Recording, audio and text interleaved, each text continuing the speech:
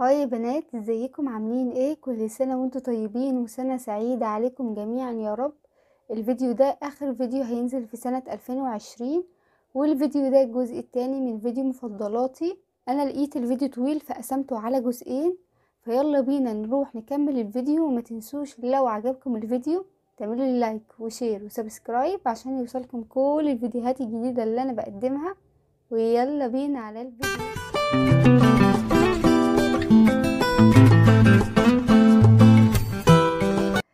أحسن serum hyaluronic acid أنا جربته الصراحة بعد ما جربت أنواع كتير برضو بالنسبة لي أحسن سيرم وهو سيرم إلزافيكا وهنزل لكم صورته هنا.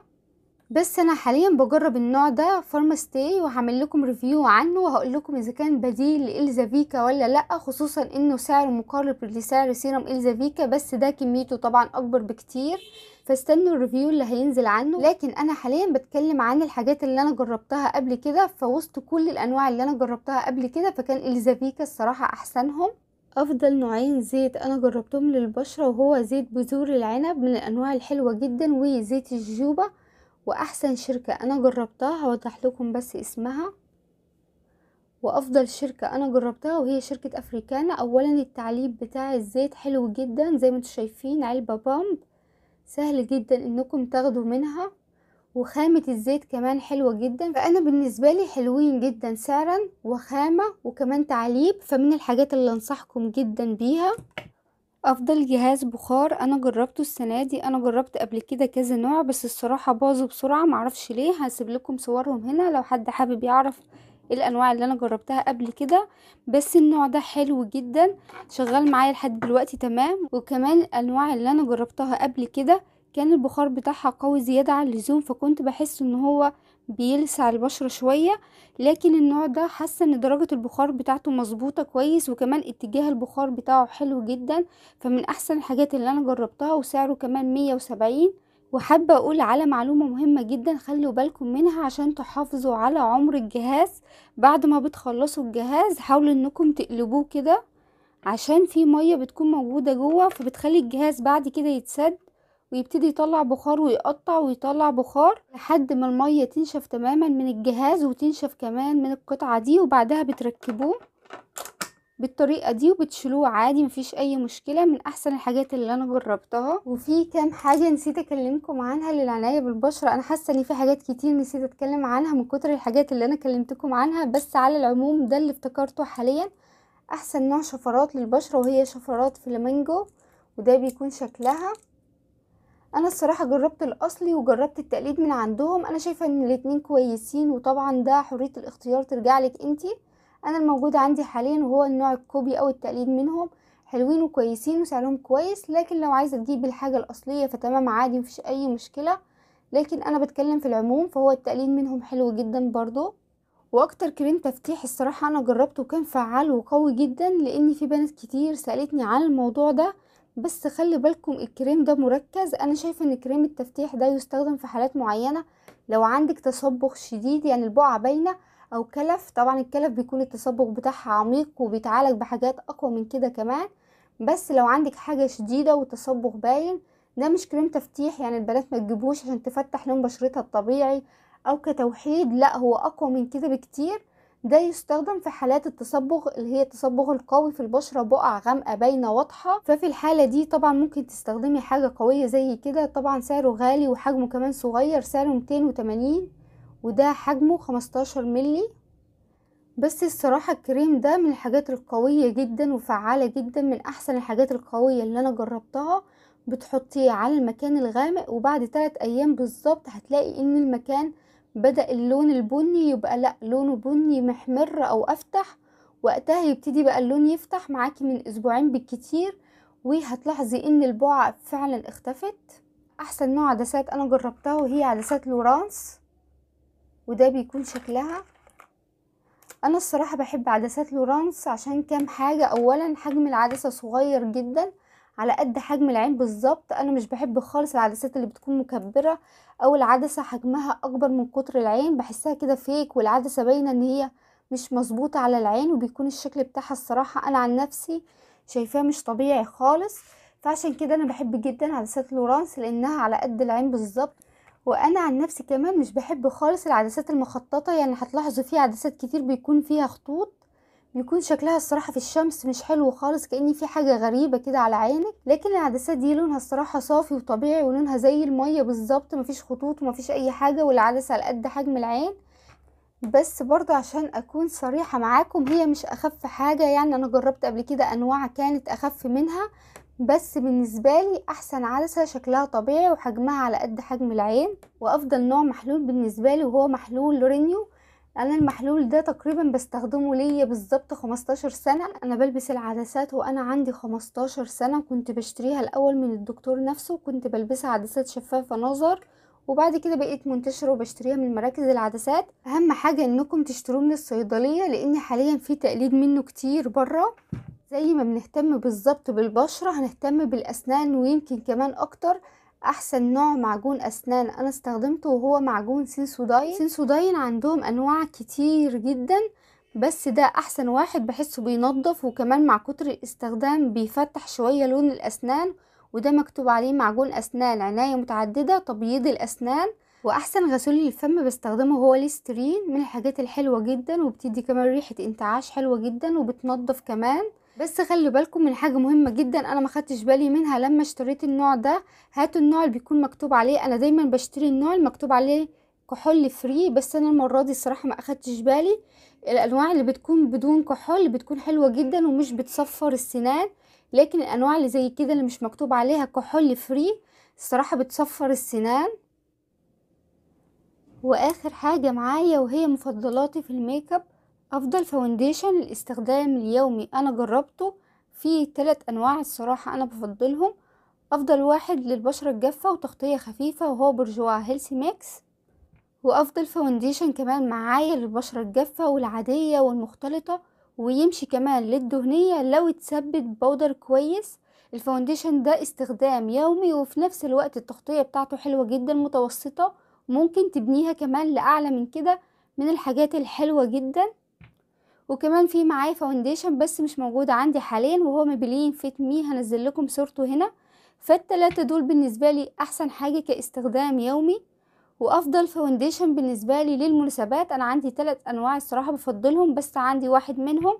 أول واحد معايا هو Catrice حلو جدا فيه كام عيب بس أنا شايفة بالنسبة لسعره والمميزات اللي فيه فالعيوب بتاعته ممكن نتعامل معاها. ومع أفضل foundation المناسبات للبشرة الجافة أو العادية وهو foundation L.A. Girl Pro HD حلو جدا التغطية بتاعته متوسطة وبتبنيها كمان لعالية وكمان شكله حلو جدا في التصوير حلو جدا. أفضل foundation بالنسبة لي للبشرة الدهنية والمختلطة للمناسبات وهو برضو foundation L.A. Girl Pro Matte وهنزل لكم صورته هنا.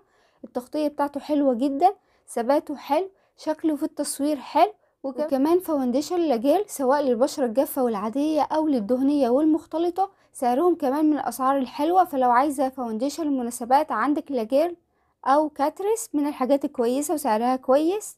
وأفضل concealer السنة دي هو Maybelline Fit Me كاستخدام يومي خفيف على المنطقة دي وشكله حلو وطبيعي ومش بيدخل في الخطوط.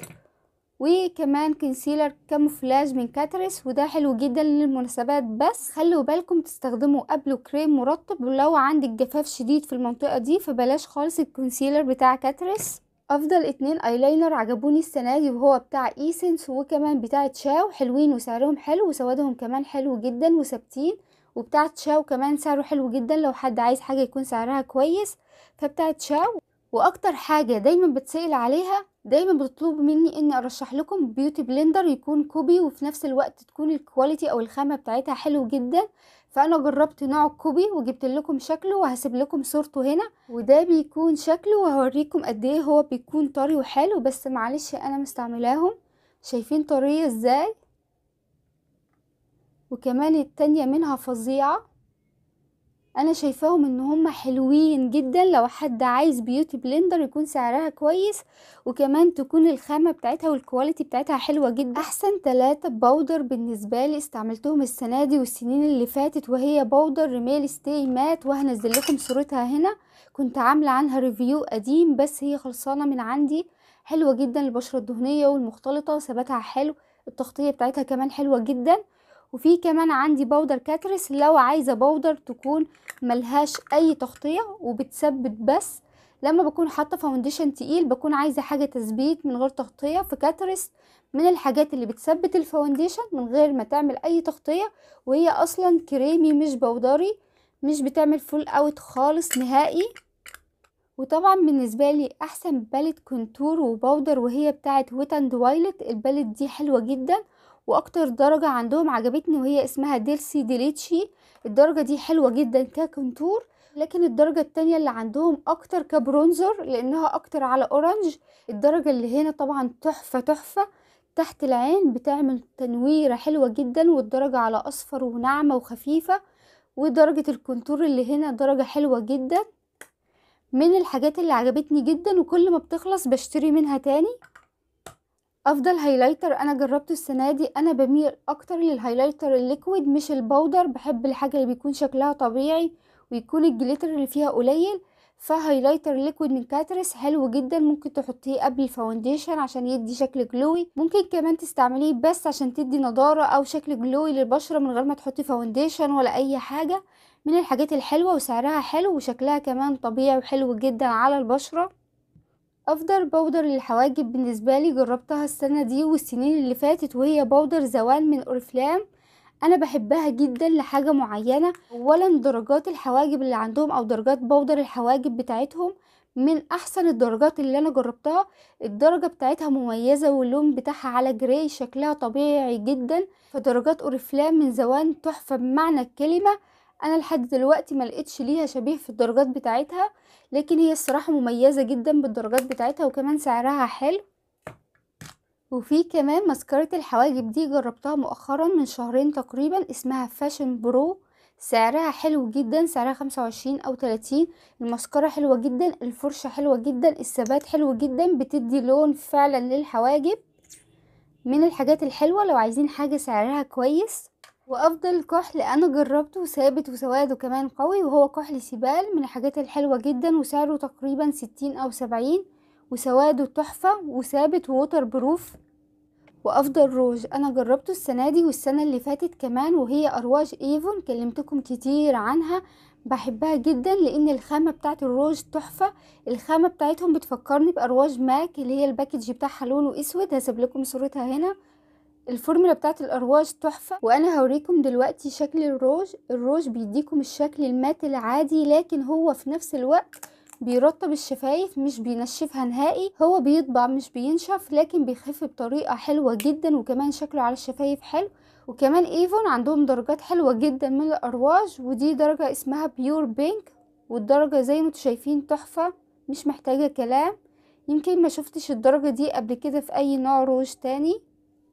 وكمان في عندي أرواج أماندا الخشب من الأرواج اللي سعرها حلو وثباتها كمان حلو بس خلوا بالكم كل درجة ثباتها مختلفة عن التانية يعني درجة تلاتة رقم تلاتة أكتر درجة عندهم ثابتة وباقي الدرجات على حسب في درجات ثابتة وفي درجات يعني بس الأرواج حلوة جدا الكفر بتاع الأرواج كمان حلو جدا الثبات بتاعهم هنقول ثبات معقول في درجات ثابتة وفي درجات تعتبر متوسطة لكن من الحاجات الحلوة جدا وسعرها حلو جدا وكمان عندهم رينج ألوان حلو جدا.